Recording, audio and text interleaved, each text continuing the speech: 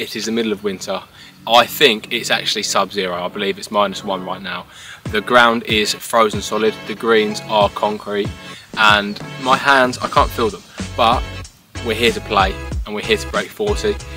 I'm on that on that road to single figures and that is hopefully what YouTube is going to help me do by recording my progress, posting it, getting help from, from, from comments and subscribers and all the rest of it. And yeah, let's just see how it goes. So hope you enjoy guys. Um, like I say, brand new channel, so like, comment, subscribe. Please enjoy the video.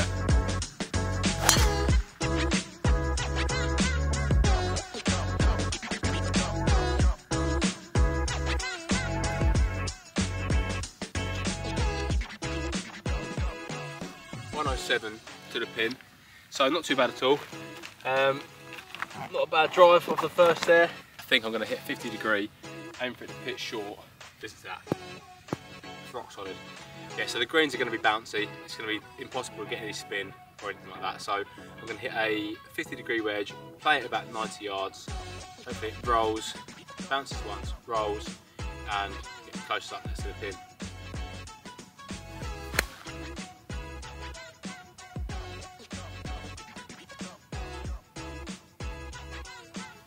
Basically I've done what I wanted, but just a little bit right. Should be alright, should be about 15 feet, 20 feet to the bar. It's, a, it's enough birdie chance, on a green. Got a nice green and red, fairway hit, green and red on the first.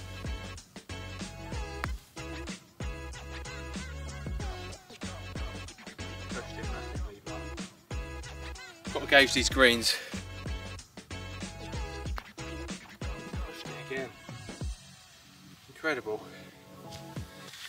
Incredible free putt on the first. That's a bogey. You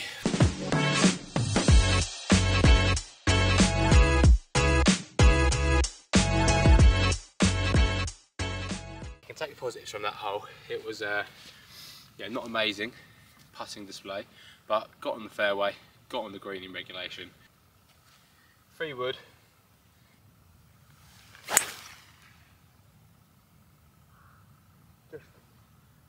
because of that. That is incredible. Straight down the middle. I've heard that bounce. That one, that is right down the middle of the fairway. That would be bounding down there. That is a comeback after a stupid bogey. Shots like that are genuinely what golf is all about, in my opinion. And I've absolutely striked that free wood. That has seriously gone a mile. I reckon that's gone about 270, 280 from the tee, which for me is an incredible free wood, to be honest. 160 to the pin. Just need to get on the green. That's that's what I'm talking about here. Nice simple shot. It's not really moved left on me, but is that enough? I don't think it is. Nowhere near enough. I, I hope the camera's seen that. On any other day other than this freezing cold weather today, that is nowhere near enough. That's bounced. That's bounced in that little crevice in the rough and some have gone to the back of the green. So it's lucky because of the frozenness, but I've got way of one there. So it's a right to left slider, anywhere short of the pin, and I'm pretty happy. And I am prone to absolutely rocketing the, the, the putts as well. So absolutely being pulled. Well, that's just the break to be fair, but putting I mean, you can half blame the conditions, but even so, I don't think the conditions has anything to do with the break. So, my fault. Nothing really that can be said or done about that.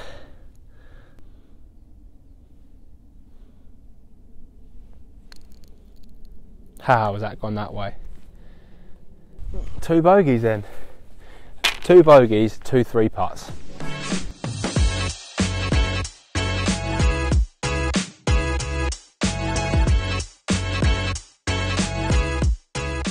I actually wish I could blame the weather, but I can't because the weather's actually helped me. The weather's helped me on that hole.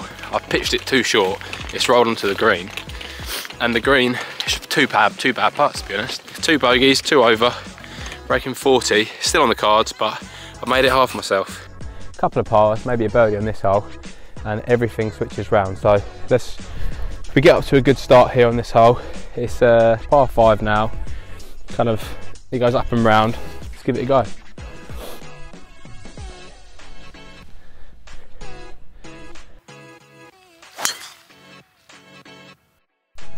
Leaky, but should be fine.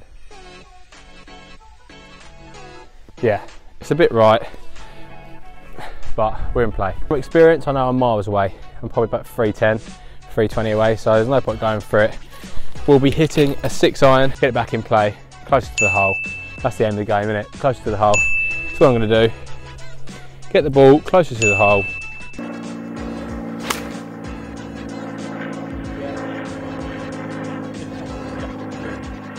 That's what I like to call sensible golf. I think this is the right play. I've now probably got a little flick on, maybe 50 yards.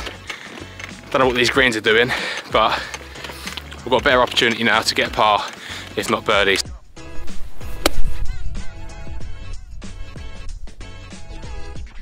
That is the best bounce I've ever got.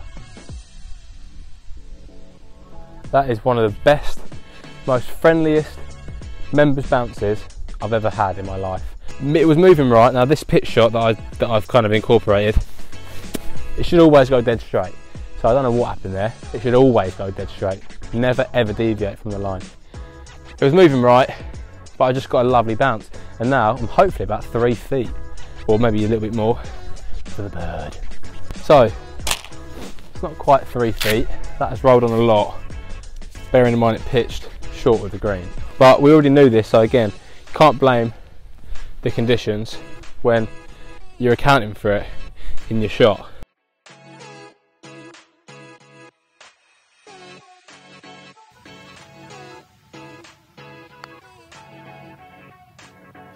That was a good putt. I should have played it straight though, I've moved it to the right edge, and that's happened. But there's the first par of the day. Should be three in a row really, but this is first par. Two over round three.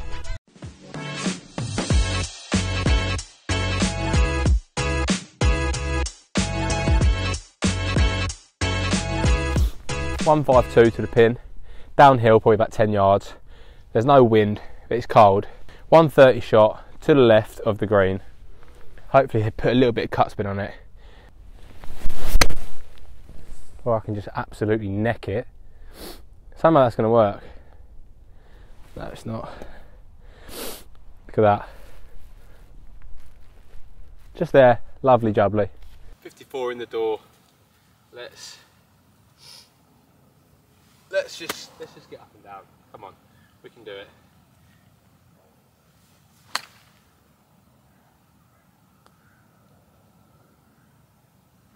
scooting straight off. I hope that that's being caught on camera because that is a joke. This is going to be a big score now. We're not in a good spot. Look at that.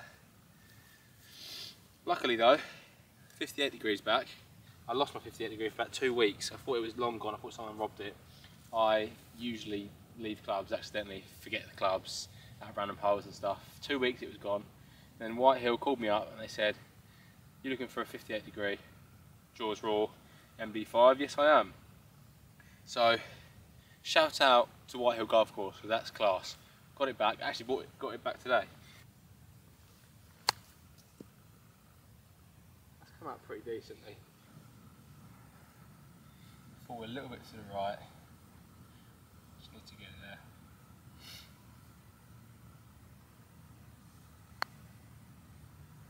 there. Yes! That's huge.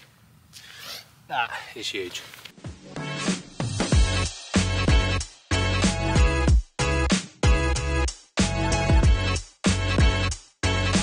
That is honestly huge, that putt, because that is three over and four now, um, which doesn't sound good. Sounds awful to be honest, but it gives me hope. So let's just get a birdie on these next couple of holes and finish the round under. It's a par 36 on the front nine. So 39 is what I need to break 40. Let's. Fuck me, I can't get these. Genuinely. Good.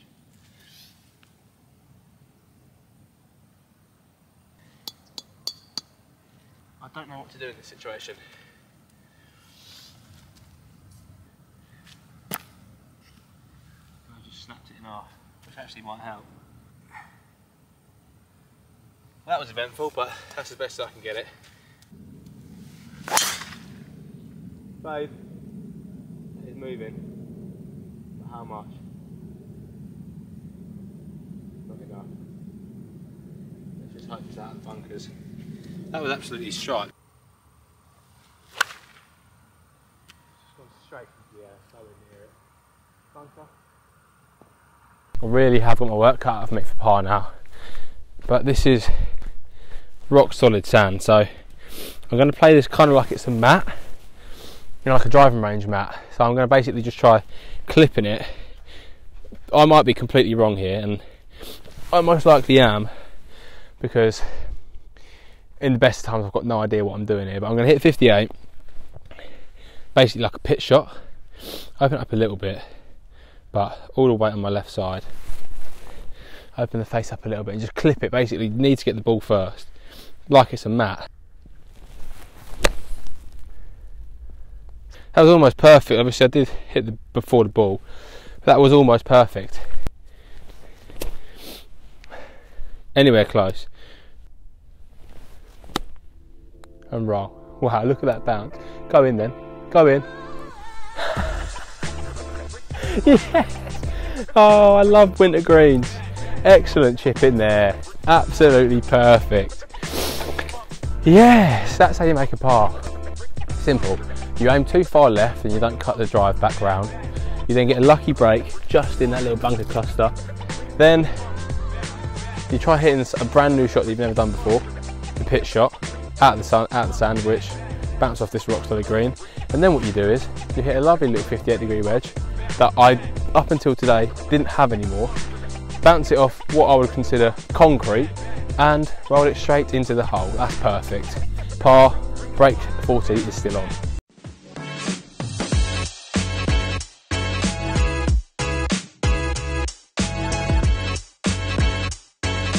Don't ask me how, but break 40 is still on. That's bogey first, bogey second, par third, bogey fourth, par fifth somehow. So we're still very much on. Now it's a short par five, I think it's about 460 yards. So very, very gettable. That is absolutely going to work. Wow, winter golf at its finest this. Slipping and sliding and chipping in. Probably 190 from the pin. I'm going to take six though because everything's bouncing. So I can get six down there, like I say, it's par five, so if it's flick on, don't mind. Short is your friend, long is dead. So let's hit the six, it's to move left on me. It's thin. I can never hit this second shot good. I can never hit the second shot on this par five good, but it's down there. It's nowhere near the green, but it's down there. Yeah, I've got a good chance here to get up and down for the bird. And if I do that, that's two over, around six. And the back three on the front nine, they're not impossible holes. It's just the two par fours and a par three. So it is well on. The game is afoot. And I don't know who's winning right now, but it's me versus the course. I think it's 50-50 to be honest. 54 in the door. Like I say, I haven't had a 58 degree for the last two weeks, or three weeks, or even longer, I don't think. So I've been practicing getting within 50, 60 yards, 54 only. So this, I'd say, is around a 50, 60 yard shot. But we know what these greens are like, so I'm going to hit 40 yards literally. Um, and if the ball finishes below the hole or short of the hole, closer to me than, than past the hole, that's, that's an excellent shot. Roll. Oh, it's rolling. Now stop.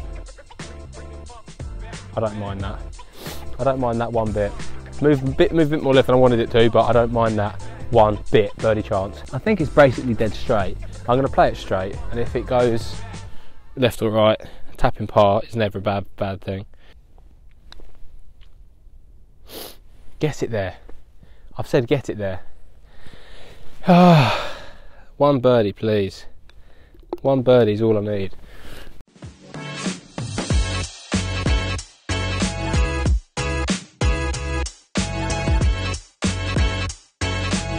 seven. Sun is getting real low. So we need to blast through these last three. Straight away, par four.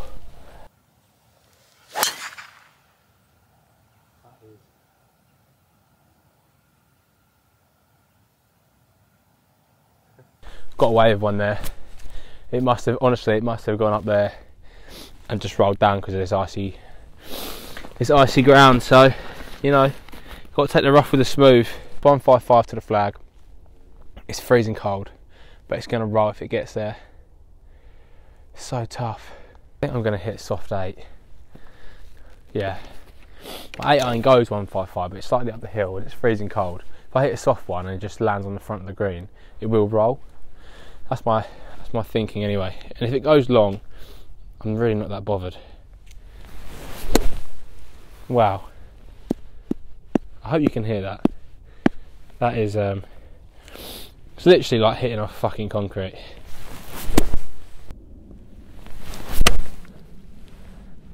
That one didn't. Oh wow.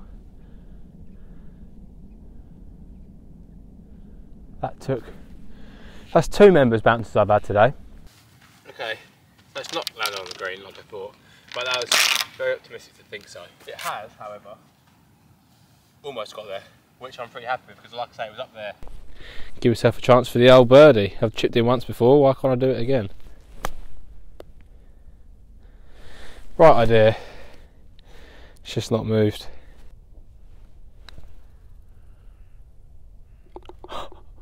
That's two. That's two pars I shouldn't have made, but I have. That's an up and down again. Um, yes, I don't sink putts like that often, so when I do, I love it.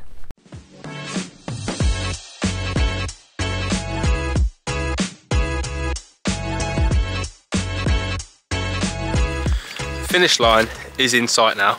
You know, I'm, I'm, I'm, feeling good. I'm feeling good that I'm free over around seven.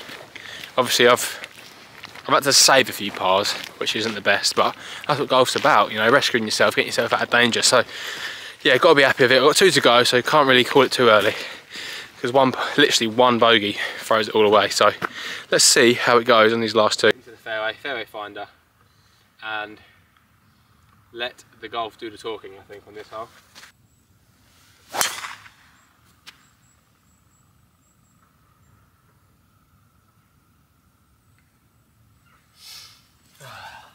Right.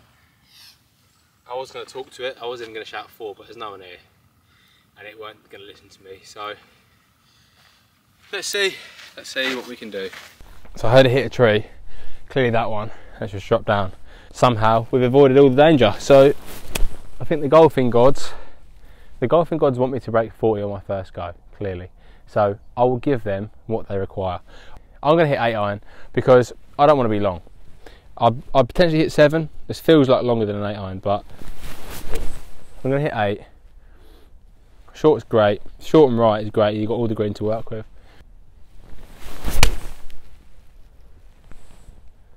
Be the number.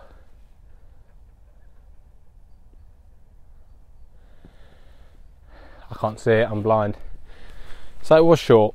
It was definitely short, but that is the. I played for this.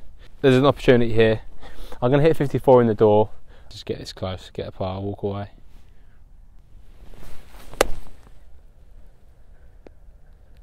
Oh wow, look at that. It's over. You see that? It's over. I hit that shot so nice. This is now an impossible shot. So basically, break 40 off the cards. I, I spoke too soon and I've been made to pay. Now it's 58, trusty 58 got to open it up here. Always going to happen. Always going to happen. I've thrown it away. Absolutely thrown it away. Let's get this in for the for the bogey for a laugh.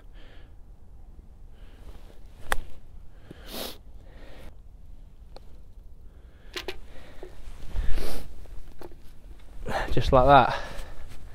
Just like that.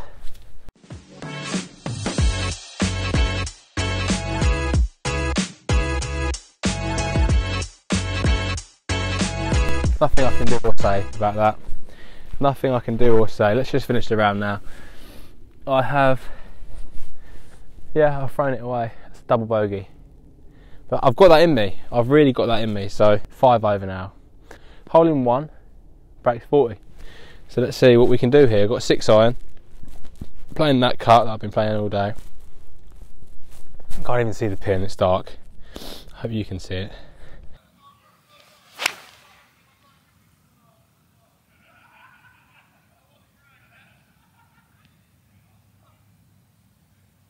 If I can get up and down, finish strong, finish strong on a par, that'd be excellent to see. Try pitching this just onto the upslope and it should just kill it. Let's see if I can do it.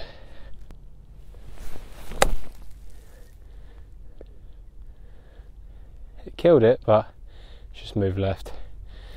Average shot for an average guy. I'm a little bit of a Debbie Downer right now based on the eighth, but you shouldn't think about the past. You should only worry about what's in front of you. So let's sink this part, let's finish on a high.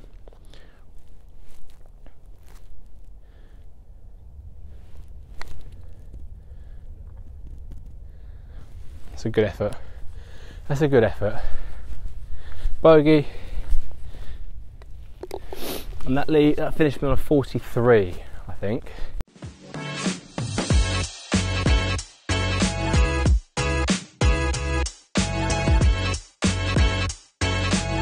Not the best way to finish, but 43, that's what one hole can do to you. But hope you enjoyed, guys.